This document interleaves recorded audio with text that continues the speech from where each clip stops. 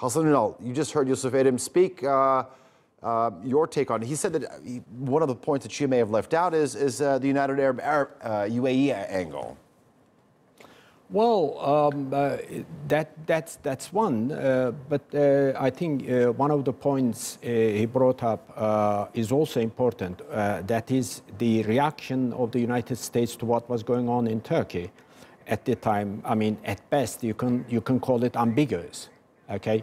But you are not supposed to be ambiguous about what is happening in your close uh, friend and allies uh, uh, in, the, in that sense at the time. For instance, uh, John Kerry's re reaction was quite uh, ambivalent because he was saying he was actually at one, at one stage inviting the parties.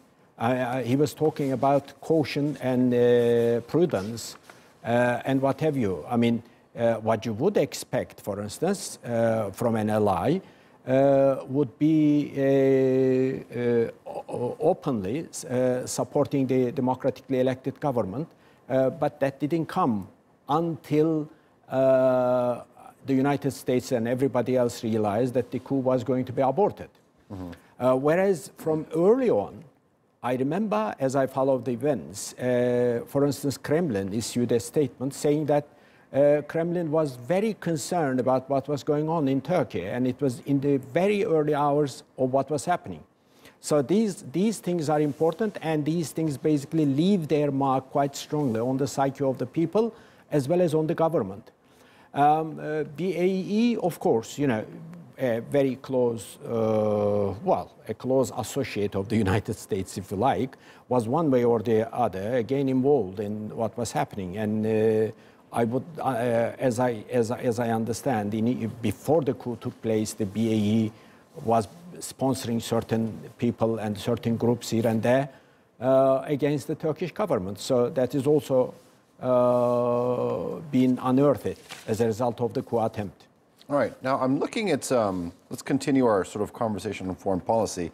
I'm looking at the, the, the transcript of President Erdogan's speech in which he uh, just gave, finished, just finished up at Istanbul Ataturk Airport. He said that um, uh, just as we will never let go of our fight for our independence, our future, our enemies will also never uh, cease to put up obstacles in our path. I'm trying to sort of uh, translate this simultaneously.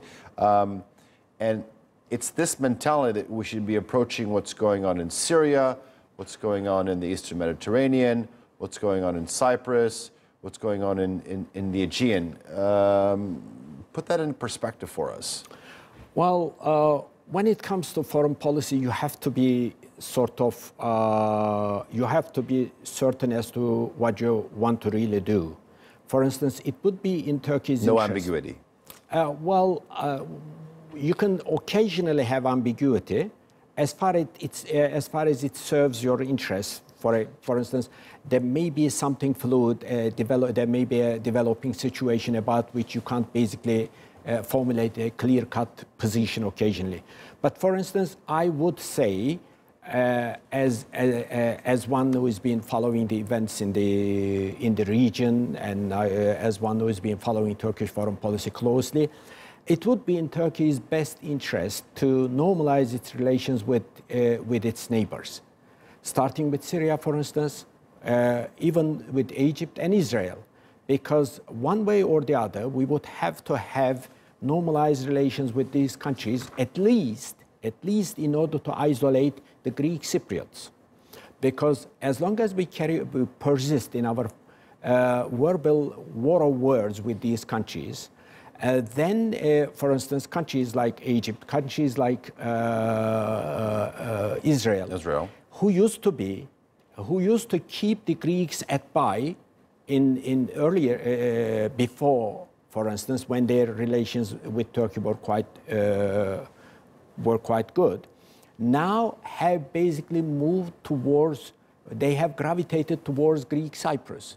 So uh, for no reason, we are offering uh, through our foreign policy and through our bad relations with all these countries, the Greek Cyprus, and by implication Greece, a number of friends and uh, allies.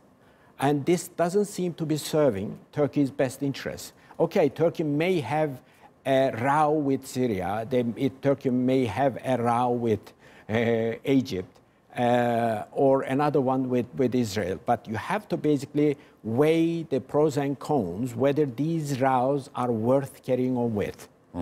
Okay? So, in that sense, since we are now out in the Mediterranean, flexing our muscles, as we should be, with regard to search and drill for uh, oil and natural gas, to protect Turkey's interests as well as the TRNC's interest, Turkish Republic of Northern Cyprus's interest. Okay, we are out there and we are doing it.